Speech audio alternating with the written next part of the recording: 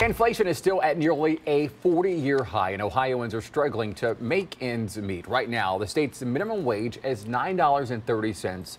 That's only a 50 cents increase from a year ago. According to a living wage calculator from MIT, the living wage here in Franklin County for a full-time parent with only one child adds up to $33.55 an hour.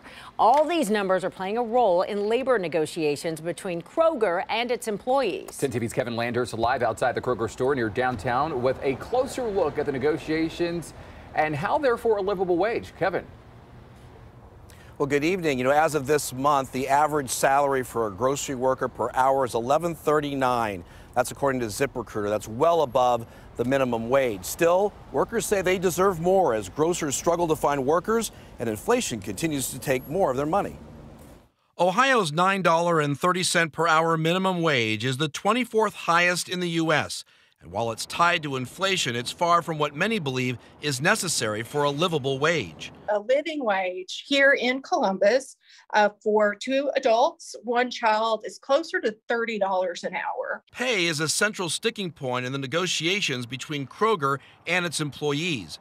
The grocer has offered to boost wages by $1.80 per hour over three years and improve starting pay to $14.25 per hour.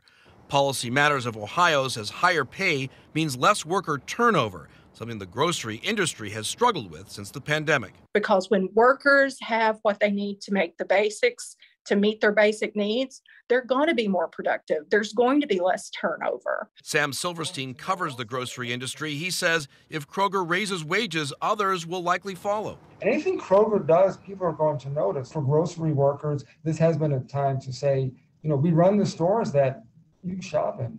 So make sure that you, you know, are aware of our needs as well. With inflation at a near record 40 year high, Policy Matters Ohio says low income earners who work for high profit companies should be sharing in that success. Deepening poverty it is not a good outcome for us to continue to suppress wages at, at for the advantage of profit seeking. Um, that is not a sustainable way to uh, have a, a functioning economy. Now, by comparison, we reached out to Giant Eagle, and they told us they pay their workers $12.50 an hour at Giant Eagle, 14 hours at Market District, but they said they also have the ability to raise those on a case-by-case basis.